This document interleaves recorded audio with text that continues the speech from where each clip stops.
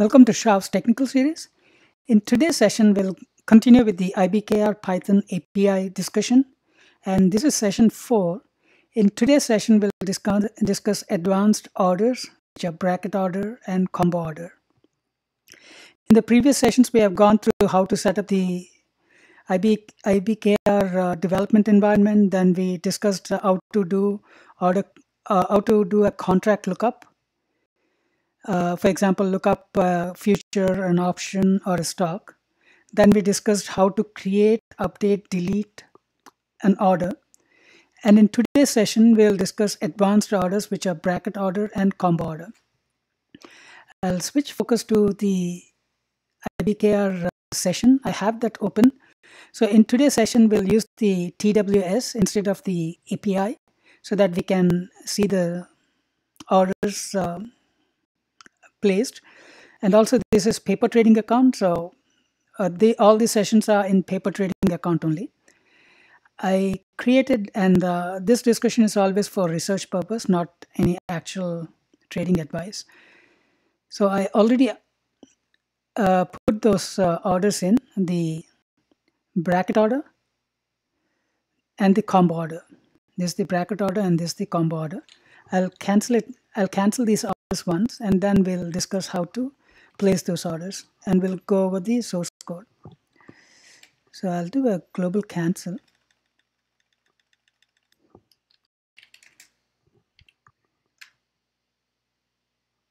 So all the orders are cancelled now. I'll cancel out of this uh, session. We discussed that order global cancel in a previous session. I'll go back to the screen. All the orders are cancelled. So if you see here, it says cancelled by the trader. So I don't have any orders now.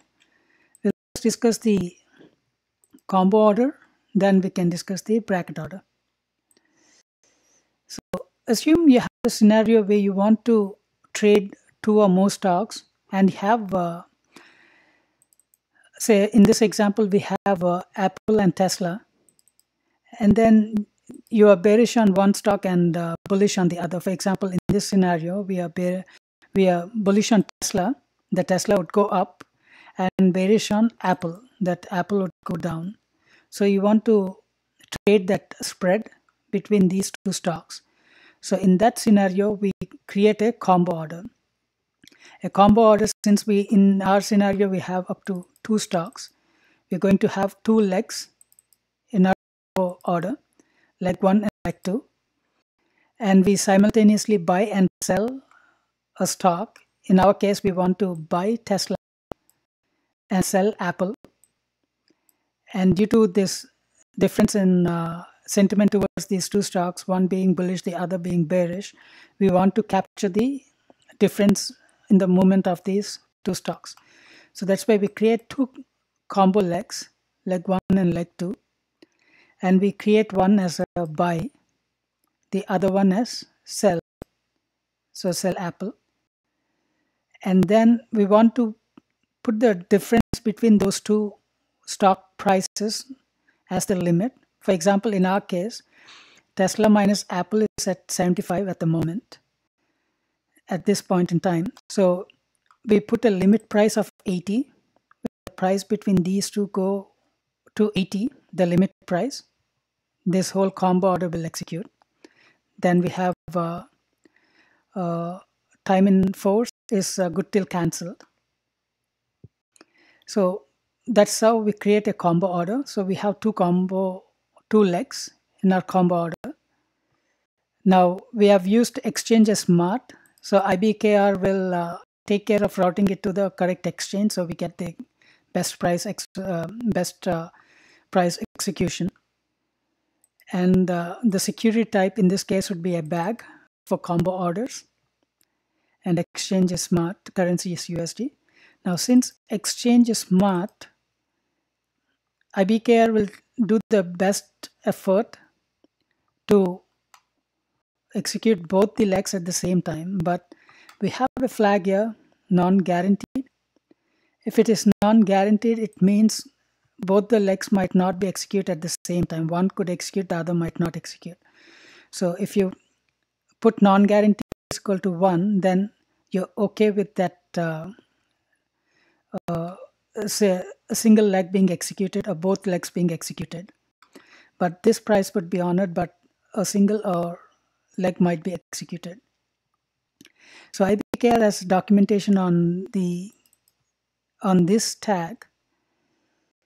Instead of uh, smart, if you give a specific exchange which takes combo orders, then those exchanges specialize in uh, combo orders. So they guarantee that both the legs would execute at the given limit price. But in our case, we have said non-guaranteed is equal to 1. So IBKR will make the best effort to execute both the legs this limit, but it's not a guarantee. So that's the combo legs. The uh, in IBKR uh, supports up to six uh, combo legs. And then the rest of the code base is the same as we discussed in the previous session. We wait for the next ID. Next ID will be will give us the order ID, the next order ID. This is executed once we connect to the client. So here, once we connect, this callback is called with the next order ID. Then we fill in all this information. And then we place the order. Once we place the order, these callbacks are called exec details, order status, open order, etc. So now I'll place the combo order.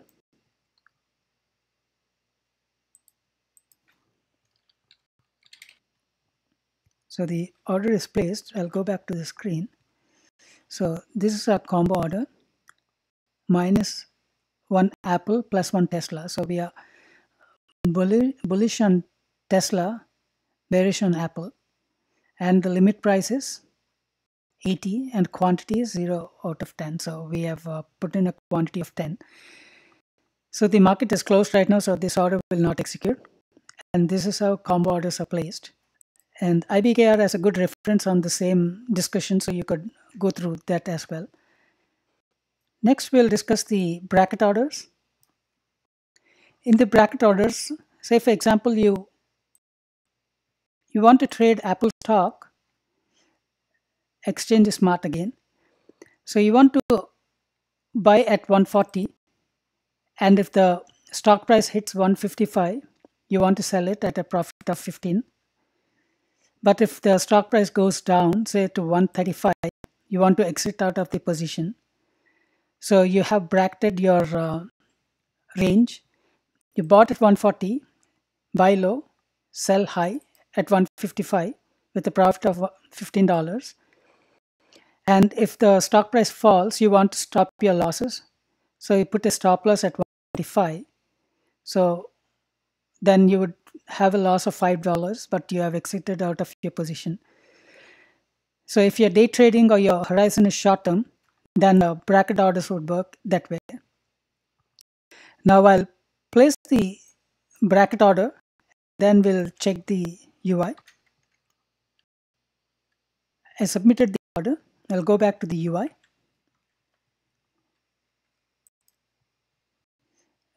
The market is closed now, so the orders will not go in. This is our uh, bracket order. We put a buy on Apple at 140 and then we put a limit order of 155 which we call it a profit taker because the stock hits 155, then we would have a profit of $15. And we put a stop loss at 135. We'll discuss the auxiliary price at later point. Right now we put both auxiliary price and the stop loss price at the same at 135. So if the stock goes to 135, we'll exit out of the position. So that way we put a bracket order and we can cancel out individual orders. So for example, say you don't want to put a stop loss, you can cancel this single order. Or you can cancel the parent order. If you cancel the parent order, all these will be cancelled. And this is the combo order we just placed. So for example, if I cancel out the this one, so those have gone. I still have this limit order at 140. The other two orders are cancelled that's how you place a bracket order Sravz UI provides spread analysis screen, which you can reach from uh, from the analytics spread analysis page. So this is relevant if you are doing combo orders. For example, in our case, we were bullish on Tesla and bullish on Apple. So to do this kind of analysis, you could use the spread analysis page. In the spread analysis page, you can select two stocks. For example, in this case, I selected Tesla and Apple, left and right. So left stock would be long, right would be short. Then you take a spread by the, by taking the adjusted close price of the take the right uh, left side asset and minus the right side asset. So you get the spread. So you can do the spread analysis like this. For example in this case tesla minus apple stock price adjusted close price spread is trending this way. And uh, here it trends this way just the spread and date moving averages and standard deviation and it also shows the the latest spread values and the st statistics.